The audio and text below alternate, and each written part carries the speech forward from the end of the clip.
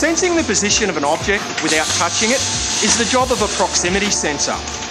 This machine's job is to test new parts. Each time the air cylinder goes down and back up again, that's one complete cycle. If we could sense that operation, then we could put that data into some software and we could start to monitor and analyse the machine's effectiveness. We could start to calculate its OEE, or overall equipment effectiveness.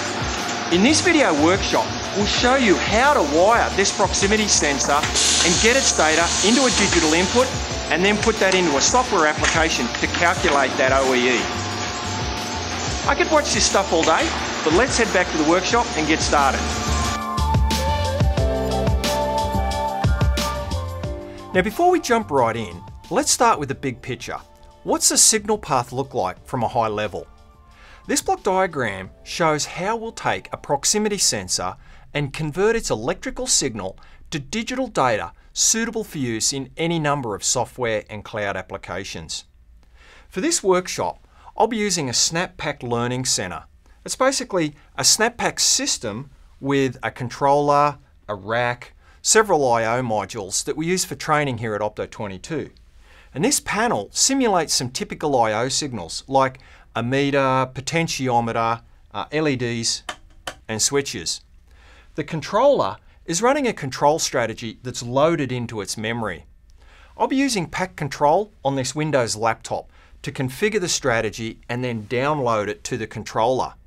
Now you can get your own Learning Center and free PAC Control software at workshop.opto22.com. There's got to be more than a dozen different types of proximity or prox sensors. Radar, LiDAR, uh, inductive, optical and Hall effect are just a small handful. For this workshop, we're going to be using a Hall effect sensor, which senses a magnetic field. This is a pneumatic ram, like the one we saw on the machine.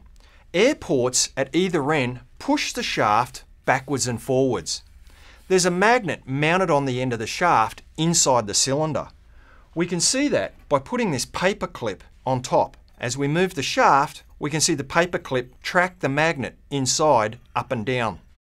We can sense that same magnetic field with this Hall effect prox sensor. Let's first power up the prox sensor on the bench and get the LED working in the end of it. Looking at the datasheet for the prox sensor, we can see that it requires a voltage from 6 to 24 volts and it's DC at just a couple of milliamps. So let's use this 12 volt DC power supply here. First, let's connect the ground wire and then the positive wire.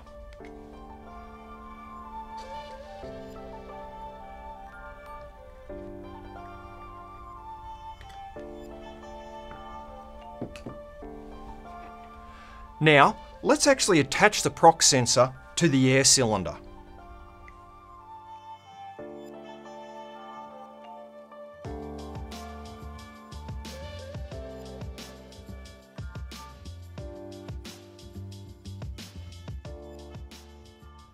Okay, we've attached the sensor at the top of the cylinder so that we know whenever the machine cycle is complete and the shaft is at the top of the cylinder.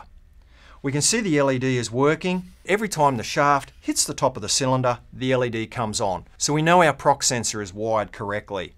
Now, when it comes to wiring the digital input module, we need to take a look at the prox sensor instructions.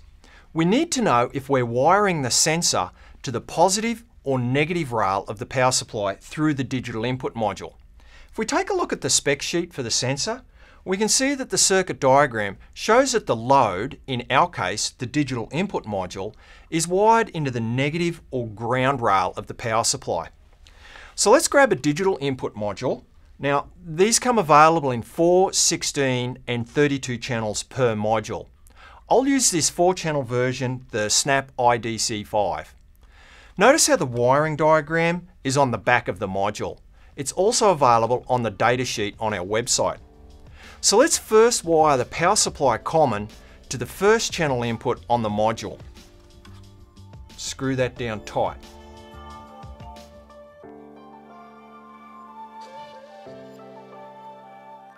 Now we're going to wire the prox sensor to terminal 2, which is the hot wire of the module. Let's screw that down tight. Now let's connect that wire from the digital input to the prox sensor. First of all, I'm going to crimp the prox sensor side, squeeze that down nice and tight. Now let's push the wire in from the digital input module. And let's crimp that side down. Okay, that's the wiring done. Okay, next we snap the module into position 7 at the end of the rack.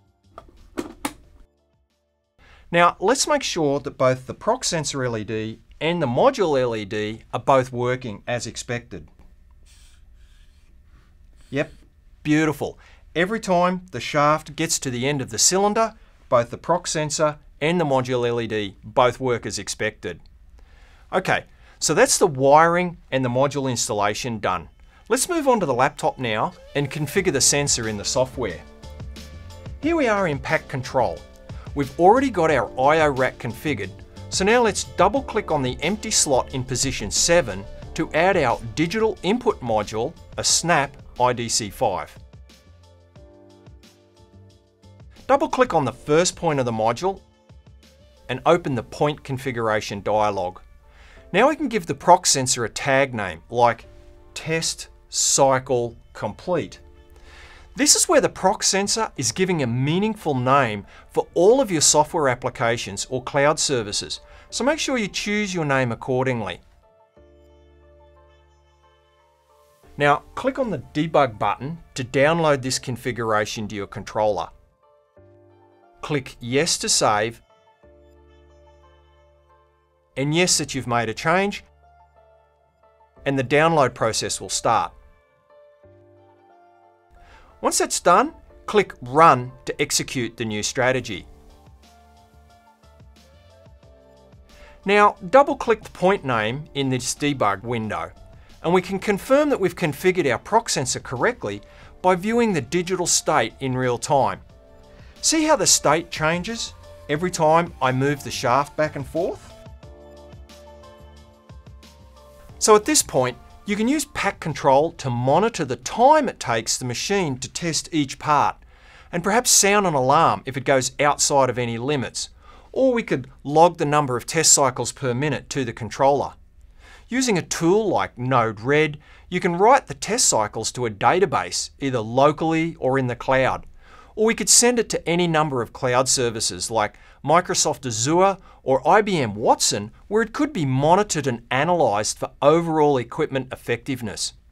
For more information about OEE and to see the parts that were used in this workshop, visit workshops.opto22.com. So there you go. The electrical signal from the prox sensor has been converted to digital data and analysed for any anomalies. Cheers, mate.